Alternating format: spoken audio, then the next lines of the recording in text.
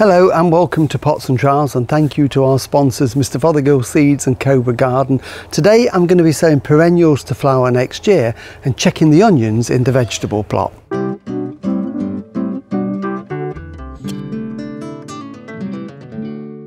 Well, here we are, middle of August, and I'm already thinking about the garden next year. And that's the great thing about garden. You plan ahead and think about what you want to grow. And one group of plants that's really good in the garden are the herbaceous perennials that come back year after year and just provide us with loads and loads of flowers.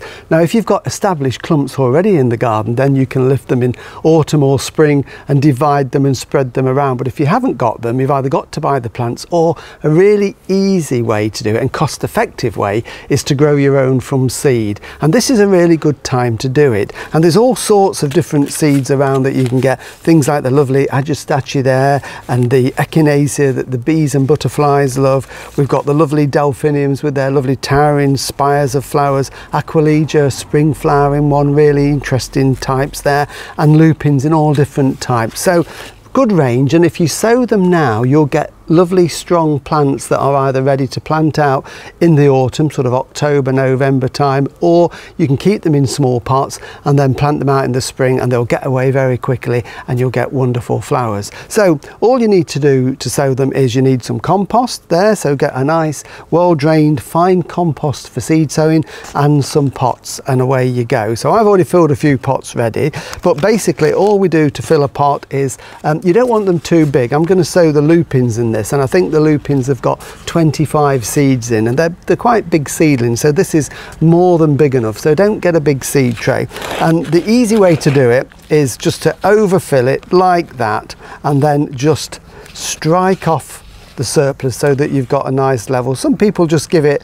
a few sharp taps, but I like to just firm it down. And I've got some little wooden cutouts that I use in various sizes and I just tamp it down and you want it to be maybe a centimetre down. What we're looking for is a nice level surface to sow on but we want it to be so it's still a little bit springy there so not compacted. If you haven't got one of these don't worry about it. It's not the end of the world. Just use the base of a pot and just go over it like that to firm it down. But it does make it better and easier for sowing so just going to brush the compost away because if you drop seeds on there it'll get mixed in and we don't want lupins growing amongst our aquilegias um, and then I'm going to just rip this one open and get these seeds out. Now lupins are fairly large seeds so these are a nice easy one to sow. So it's just a case of getting them out the packet and we can see they're fairly large seeds on these lupins this is a lovely one called festival mix. It's not a really tall growing one. It only goes to about two feet and it's ideal for smaller gardens or even in pots. So all I'm going to do is to space these seeds out nice and evenly over the surface of the compost. And there's 25 or 30 seeds as I said in this packet. So we can put all of those into this pot. And the idea is to try and space them as evenly as possible. And that goes for all seeds, whether they're large or small. We want to try and give them all roughly the same amount of growing area so that we get an even batch of seedlings uh, and then they'll all grow the same. So that's them on the surface and then we need to cover them over and two ways we can do this.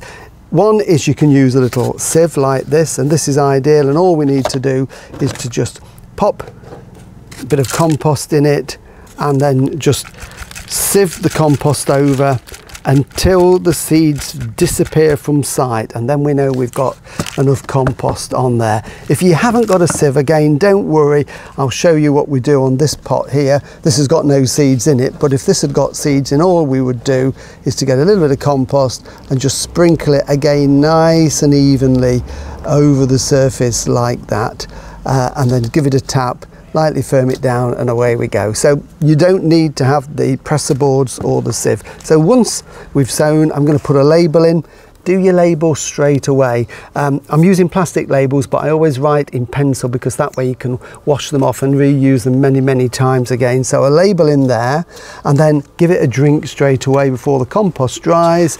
So just hold it away from the bench, just give that a drink and then for those to germinate, we don't need any heat at this time of the year.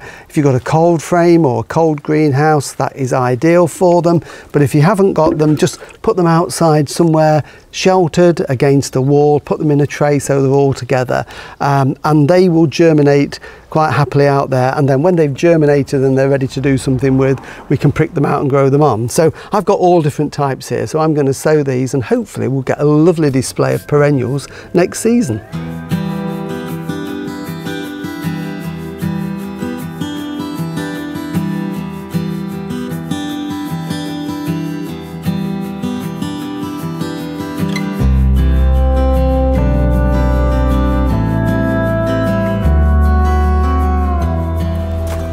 Well, getting to the time when onions are almost ready to harvest, uh, so I thought I'd just check on them. Um, some people I think harvest their onions too early. Ideally, if you want your onions to store right the way through the winter and into spring, they've got to ripen naturally. So I often see where people have got really tall onion growth, really green and still growing, and they lift them. But because the bulb hasn't ripened, they don't store as well. So I let mine do it naturally, and it's usually late August, early September by the time that I actually lift them out of the ground. And we've had a bit of windy weather and some storms over the last week so the tops have gone down. So I go along and put them all in one direction and try not to cover the bulb behind because we what we want is when we do get some sunshine we want the sun to shine on these bulbs and to ripen that outer layer of skin so it goes a lovely golden brown. And that's the idea we want them to ripen as much as we can. Now when they are ready to lift and having looked at these I'm actually going to give these probably another week before I lift them. I bought my tray out just in case I was lifting them, but I don't think I'm going to need it today. But what I can do now is stop them growing because the tops have bent over and they're not going to grow anymore anyway. So a good way to do that, a little tip, is just to get a little hand fork and just to, these have still got a good root system and they're attached. And if you just put your fork under and just lift it slightly and if you listen you can just hear those roots snapping just if I put it in and and you can also hear lawn mowers starting up because today is the day everybody mows their lawns. But just snap the roots a little bit and it's just brought it away. What will happen is now they will stop taking in moisture and they will dry off and I can leave them. Now what we're hoping for is some lovely warm weather to dry them. If where you are the weather is wet and you think they're never going to dry outside like this then what you can do is go a step further and you can take them up just shake off any soil and then put them on a tray like this one and just knock the soil off. And these are made lovely lovely bulbs. This variety is one called centurion. These were planted from onion sets back in april and as you can see they've made some nice bulbs. So it's just then a case of we can put them down and out like that to dry and put them under cover in a shed or a greenhouse or a carport somewhere where it's dry so the rain can't get on them and then over the next two or three weeks they'll really dry back and only when all these tops have gone brown and wizened can we then start to store them for winter. So this is very much the drying off and the ripening process to ensure they store over the winter. So having said I'm not going to lift them, I think I might do because this ground is pretty wet. So I think that's my afternoon job taken care of.